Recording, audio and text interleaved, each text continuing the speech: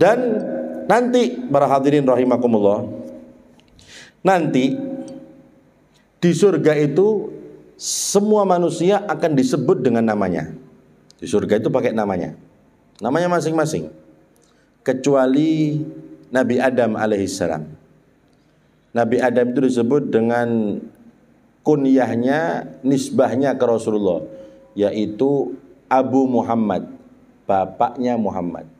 Khusus untuk Nabi Adam alaihissalam. Dan itu sebagai bentuk kemuliaan untuk Nabi Muhammad sallallahu alaihi wasallam. Kemudian disebutkan oleh para ulama ya.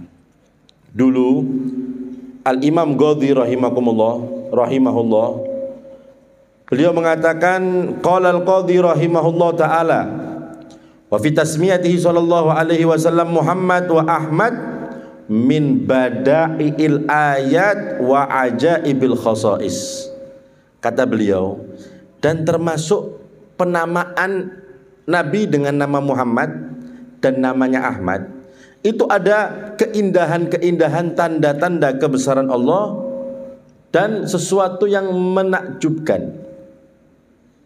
Allah Ta'ala hama an yusamma bi Muhammadin wa Ahmad ghairahu sallallahu alaihi wasallam qabla zamanihi.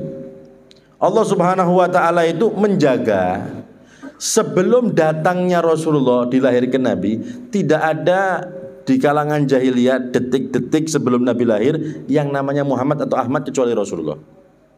Ya. Supaya apa? Supaya manusia tidak ragu.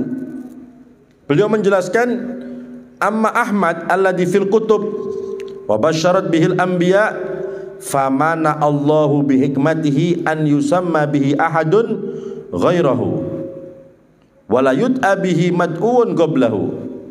Nama Ahmad itu sudah ada di kitab-kitab terdahulu. Kitab Injil, kitab Taurat ya. Tapi Allah Subhanahu wa taala dengan takdirnya ya, tidak ada orang yang tergerak untuk memberikan nama Ahmad atau Muhammad sebelum detik-detik kelahiran Nabi Muhammad SAW. Sebelum-sebelumnya ada, tapi ketika Rasul mau dilahirkan itu loh. Di zaman-zaman itu tidak ada. Makanya yang namanya Muhammad cuma Rasulullah toh. Di zaman Nabi itu yang namanya Muhammad cuma Nabi Muhammad Shallallahu Alaihi Wasallam. Supaya apa tujuannya? Hatta la yadkhula labsun ala dhaifil qalbi aw syak. Supaya nggak ada keraguan apa namanya pengelabuan. Loh, anak luru Muhammad ini. Sing Nabi yang mana? Loh, Kan namanya Muhammad ini, namanya Ahmad. Di zaman Nabi itu tidak ada nama Muhammad kecuali Rasulullah atau nama Ahmad tidak ada.